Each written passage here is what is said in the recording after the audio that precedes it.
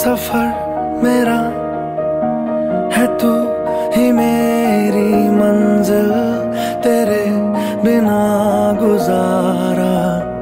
ए दिल है मुश्किल, तू मेरा खुदा।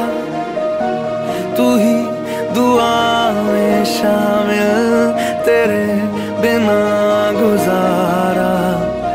ए दिल है मुश्किल